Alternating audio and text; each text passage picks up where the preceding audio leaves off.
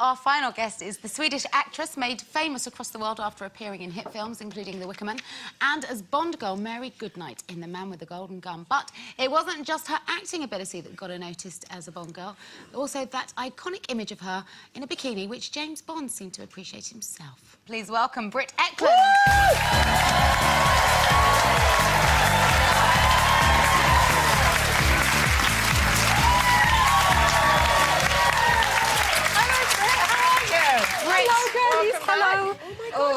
Different. You don't. Of course I do. You've got the same proportions now Same as you did as, as as you did back then in that bikini. Really? Hmm. I think you might be my youth inspiration. Oh. you could do worse. I could do worse. Did you get to choose which bikini you got to wear? Or then? No. And on all the posters over the years, it's been green and blue and black and yellow, but it was actually blue. Now, Roger Moore, he had a real twinkle in his eye, didn't he? Was there Yeah. chemistry with you two? Yes, because he was a very jokey. He wasn't sort of sexually threatening. You know, sometimes mm. leading men can be like. Who was the most like that that you've ever worked with? the- uh, that noise you did.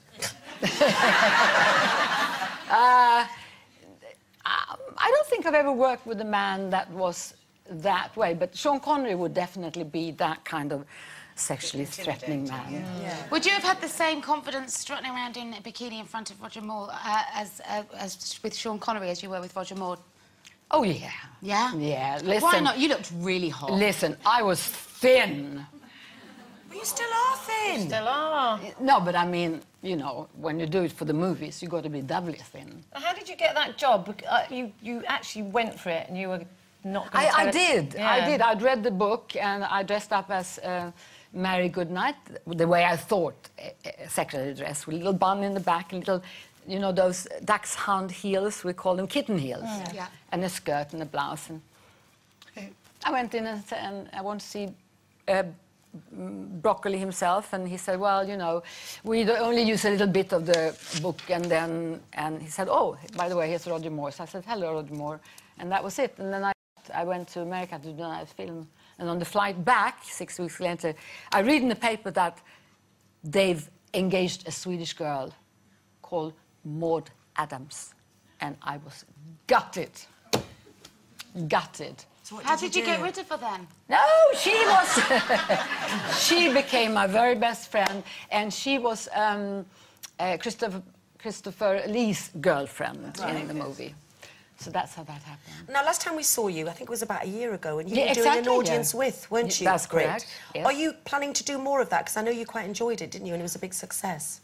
It won't be called an audience with. It will be called something else, and it will be not as structured. It will basically.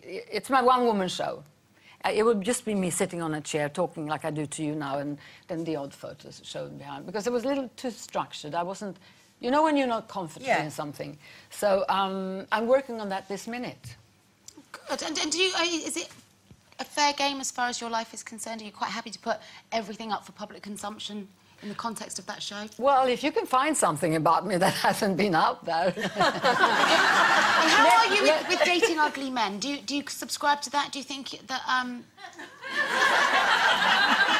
Dating ugly men. Yeah, well, it, because if beautiful people date people less good looking than themselves, makes them there's, there's better. two arguments. It makes them feel better. I there's never a had sense that of gratitude, problem. and apparently, less good looking people work harder in certain areas. No, I never had that. You know, I and I never looked at it like that. I fell in love with you. I, I lived with you in some cases. I married you in other cases. You Uh, Let's have a, let's have it no, out but you know there, what I'm saying. That- that- We didn't know that. but no, but my attitude was just, you know, I fell in love. I never looked. I never. I have never married for love. I mean, I've never married for. Anything other than love. I've, I've never married for money. I've only ever married for love. Do you and, think that- And then look where it got me.